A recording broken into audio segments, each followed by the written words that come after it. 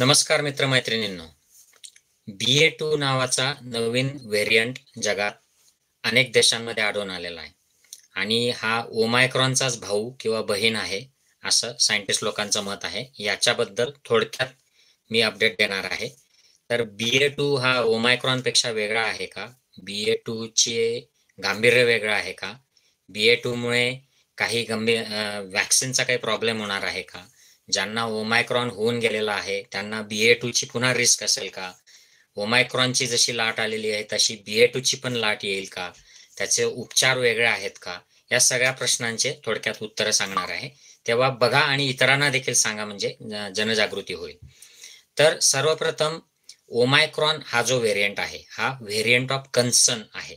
म्हणजे त्याच्यामुळे चिंता आहे जगाला. आणि ते आपल्याला दिसतंय की संपूर्ण जगामध्ये तो पसरला. आणि मोठ्या संख्येने लोक लाखो करोडो लोक संक्रमित होत आहेत. काही काही देशांमध्ये डेली लाख लाख भारतामध्ये अडीच लाख रिपोर्टेड केसेस आहेत. तर काही काही अमेरिकेच्या काही दिवसांना दहा दहा लाखापर्यंत केसेस येत आहेत. त्यामुळे हा व्हेरियंट ऑफ कन्सर्न आहे. आणि आपल्याला आता हे कळलं की हा पूर्वीच्या व्हेरियंटच्या मानाने आजार अजि अजिबातच गंभीर करत नाही. साधी सर्दी खोकला मोस्ट लोकांना होतो आहे. आणि आता हा बी ए टूचा व्हेरियंट त्याच्यामध्ये आलेला आहे. सर्वप्रथम हा फिलिपिन्समध्ये डिटेक्ट झाला आणि आता चाळीस देशांच्या पेक्षा जास्त हा डिटेक्ट झाला आहे अमेरिका युरोप डेन्मार्क नॉर्वे सारख्या देशांमध्ये तर ओमायक्रॉनपेक्षा बी ए टूच्या केसेस जास्त येत आहेत. म्हणजे बी ए टू ने आता ओमायक्रॉनला रिप्लेस करायला सुरुवात केली आहे. जसं ओमायक्रॉनने डेल्टाला रिप्लेस केलं होतं तसं बी ए टू करतो आहे. तर सर्वप्रथम हे समजून घ्या की बी ए टू हा कोविड नाईन्टीनचाच व्हायरस आहे. तो त्याचाच म्युटंट आहे. परंतु हा ओमायक्रॉनपासून तयार झालेला नाही. तर हा काही महिन्यांपूर्वी जे व्हेरियंट त्यावेळेचा जो एक्झिस्टिंग व्हेरियंट होता त्याचे दोन फाटे फुटले. त्याचे दोन मुलं किंवा मुली झाले आणि त्याच्यापासून व्हेरिएशन्स होत होत होत एक ओमायक्रॉन एका शाखेला ओमायक्रॉन आलेला आहे आणि दुसऱ्या शाखेला बी ए टू आलेला आहे. म्हणजे ते एकमेकाचे भाऊ बहीण आहेत किंवा बहिणी आहेत. आम्ही मेडिकल किंवा मायक्रोबायोलॉजीच्या फॅकल्टीमध्ये यांना सिस्टर्स म्हणतो. ओमायक्रॉन आणि B A two are sisters. तर एकमेकापासून तयार झालेले नाहीत तर एका मात्र एका कुटुंबातले आहेत वेगवेगळ्या शाखांमधले आहेत. आता याच्यात फरक काय आहे? तर ओमायक्रॉनमध्ये जेव्हा R T P C R केली जाते तेव्हा एस जिन मिसिंग असतो. आता याची डिटेल तुम्हाला माहीत असण्याची गरज नाही. म्हणजे आर टी पी सी आरमध्ये हा पॉझिटिव्ह दाखवतो ओमायक्रॉन पण त्याचा जो स्पेसिफिक एक एस जिन डिटेक्शन जे असतं ते याच्यामध्ये दिसून येत नाही. तेव्हा कळतं की हे ओमायक्रॉन आहे डेल्टा नाही. मात्र बी ए टू मध्ये एस जिन मिसिंग नाही. म्हणजे हा डेल्टा सारखाच याची टेस्ट येते. आत्ताच्या परिस्थितीमध्ये जर एस जिन मिसिंग नसेल तर तो डेल्टा नाही तर तो बी ए टू आहे. तर याचा थोडक्यात समरी अशी की सध्याच्या आर टी पी सी आरने हा डिटेक्ट होतो. आपल्याला सामान्य लोकांना याची काळजी करायची गरज नाही. मग याचं कारण काय आहे काळजीचं? तर हा फास्ट पसरतो. किती फास्ट पसरतो? तर ओमायक्रॉन हा डेल्टापेक्षा फाईव्ह हंड्रेड पर्सेंट म्हणजे पाच सहा पटीने फास्ट पसरत होता.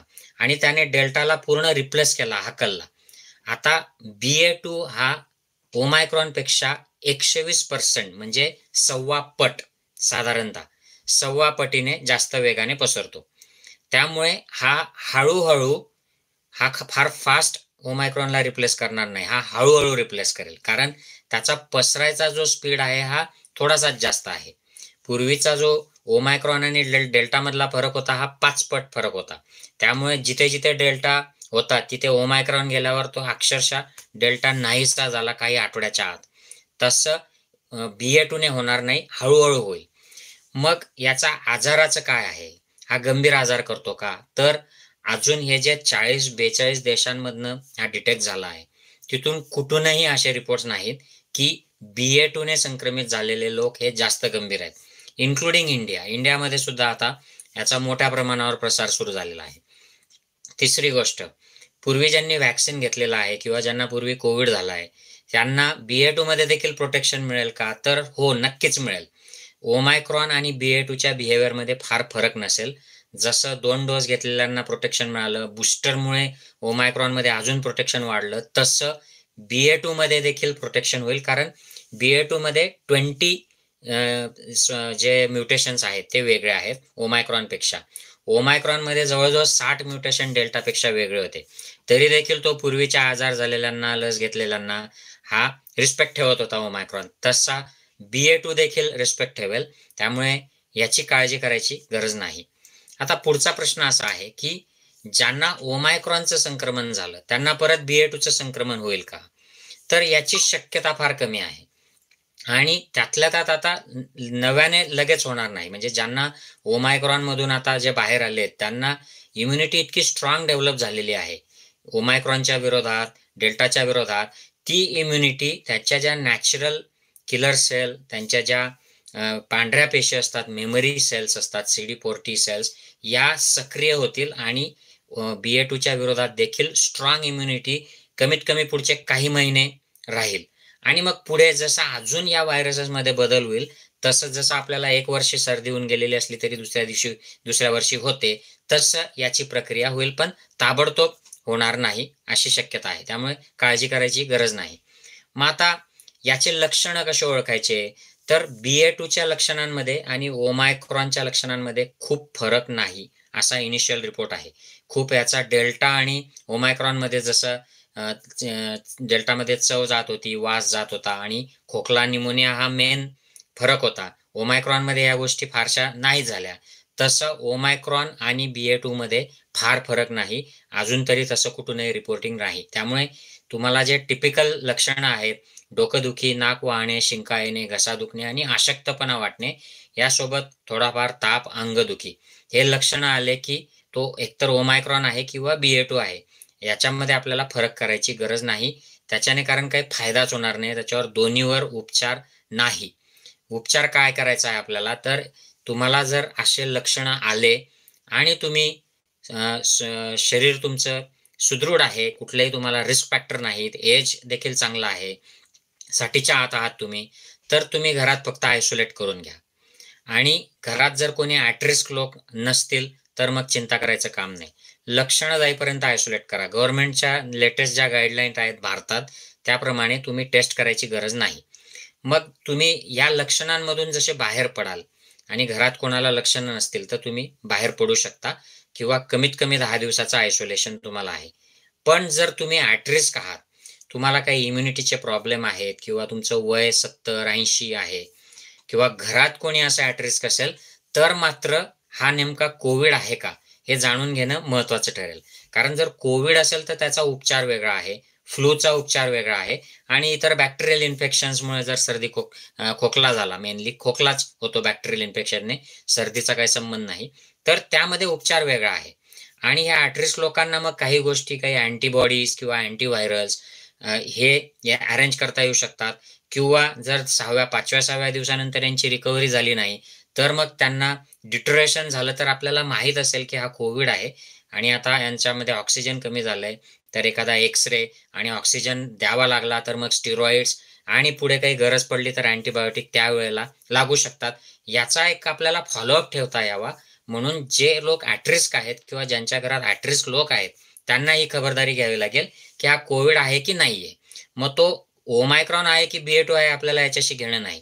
त्या कॉम्प्लिकेशनमध्ये तुम्ही जाऊ नका कारण त्यात आम्ही सुद्धा जात नाही डॉक्टर म्हणून. त्यामुळे you don't have to worry आणि मग समजा तुम्हाला हे लक्षणं आले तुम्ही धडधाकड आहात. तर काय करायचंय? तर तुम्ही पॅरासिटामॉल ब्रुफेन यासारख्या गोळ्या तीन चार दिवस घ्यायच्या. चिंता करायची नाही. अनेक डॉक्टर लोक आज देखील अँटीव्हायरल अँटीबॅक्टेरियल अजिथ्रोमायसिन क्लॅवम क्लोमॅक्सिक्लाव लिहून देत आहेत. चुकीचं आहे. घेऊ नका. त्याच्याने तुमचा कोविड हा गंभीर होण्यापासून वाचेल. याला कुठलाही सायंटिफिक आधार नाही. किंवा तुम्ही ॲट्रिस्क आहात. आणि म्हणून तुम्हाला अँटीबायोटिक अँटीव्हायरल दिले म्हणजे प्रोटेक्शन मिळेल. याला देखील कुठलाही पुरावा नाही. जर एखाद्याला डिटोरेशन झालं ऑक्सिजन कमी झाला तर त्यावेळेला त्यांना ऑक्सिजन आणि स्टिरॉइड लागेल. पण ॲट्रिस जर तुम्ही असाल तर त्याला अँटीबॉडी सॉट्रोविमॅब नावाची अँटीबॉडी आहे. तेवढीच फक्त ओमायक्रॉनमध्ये चालते.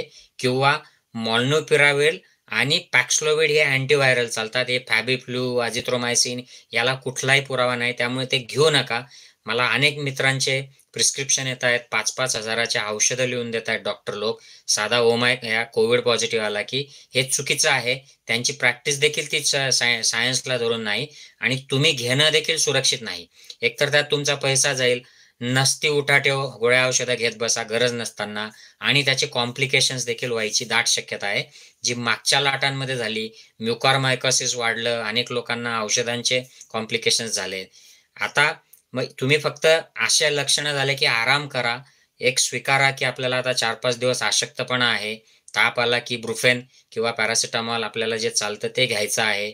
घशासाठी हळदीचं दूध याला कुठलेही आयुर्वेदिक होमिओपॅथी कुठलेही औषधांचा पुरावा नाही. कोविडमध्ये कुठलंही प्रूफ या औषधांना आलेलं नाही. काढा किंवा याच्याने इम्युनिटी वाढवा किंवा हे औषध घ्या. टी व्हीवर जाहिराती केल्या जाणाऱ्या औषधं यांना कुठलाही पुरावा नाही. त्यामुळे सिंपल गोष्टी करा आणि यातून बाहेर पडा. याला साध्या सर्दीसारखं ट्रीट करा. जर तुम्ही ॲटरिस्क नसाल तर. आणि ॲटरिस्क असाल तरी देखील काळजी करायची गरज नाही. उपचार बदलत नाही. मोस्टली नो उपचार. आणि जर काही कॉम्प्लिकेशन झालं तर मग मात्र डॉक्टरांकडे लवकर दाखवा. तर समरी अशी की बी ए टूची नव्याने लाट येईल का? तर येस बी ए टू ज्या ज्या परिसरांमध्ये जिथे ओमायक्रॉन आज गेलेला नाही तिथे बी ए टूची लाट इथून पुढे येईल. ज्या ज्या ठिकाणी ओमायक्रॉनची लाट येऊन गेलेली आहे तिथे बी ए टूची लाट येणार नाही. शक्यता अत्यंत निग्लिजिबल आहे. कारण त्या ठिकाणी ओमायक्रॉनमुळे लोकांमध्ये इम्युनिटी झालेली आहे. त्यामुळे बी ए टूचं संक्रमण त्यांना फारसा अफेक्ट करणार नाही. मात्र ते करणारच नाही असं नाही. काही लोकांना ओमायक्रॉन नंतर बी ए टूची देखील लागण होऊ शकते. परंतु हे रेअर असेल. म्हणजे अगदी लाखात दहा पंधरा वीस लोकांना असं होऊ शकतं. एकदा सर्दी झाली परत दोन आठवड्यांनी किंवा महिन्याभराने पुन्हा सर्दी झाली. असं होऊ शकतं. त्यामुळे शक्यता नाकारता येत नाही. पण मोठ्या प्रमाणावर लाट निर्माण होईल याची शक्यता नाही. आणि इथून पुढे ओमायक्रॉनची आणि बी ए टूची अशी मिक्स लाट चालेल. हळूहळू ओमायक्रॉन रिप्लेस होईल ओमायक्रॉन इतिहास होईल आणि बी ए टू पुढे चालेल. कदाचित बी ए टूच्या ऐवजी अजून कुठला तरी व्हेरियंट की तो बी ए टू पेक्षा फास्ट चालतो पसरतो तो येईल तो त्याला रिप्लेस करेल हे सुरू राहील. आता जगभरातनं हे डिटेक्शन सुरू झालंय म्हणून आपल्याला हे कळतं. कोणता व्हायरस आला आणि कोणता व्हेरियंट आला आणि मग त्याच्या ब्रेकिंग न्यूज येतात. हे पूर्वापार हजारो लाखो वर्षांपासून चालत आलेलं नैसर्गिक प्रक्रिया आहे. व्हायरसेस बदलतात. ओमायक्रॉन देखील बदललेला आहे. आणि हे अपेक्षितच आहे हे असंच पुढे चालू राहणार आहे. त्यामुळे काळजी करू नका. ज्या नॉर्मल प्रिकॉशन्स आहेत लक्षणं आले की घरी थांबणे. लक्षणं असले तर घरातले जे ॲट्रिस्क आहेत त्यांना प्रोटेक्ट करा. बूस्टर घेतलेलं नसेल तर बूस्टर जाऊन घ्या. आणि ही लाट गेल्यानंतर आपल्याला आता मास्क फ्री राहता येणार आहे. बऱ्यापैकी आपलं मोकळे निर्बंध निघतील. मध्ये आता निर्बंध निघणार आहेत एक्सेप्ट फॉर हॉस्पिटल्स बाकी सगळ्या ठिकाणी ते आता निर्बंध काढायच्या तयारीमध्ये आहेत. हीच सिच्युएशन आपल्याकडे काही आठवड्यांनी या लाट ओसरल्यानंतर येणार आहे. I hope this update helps take care bye bye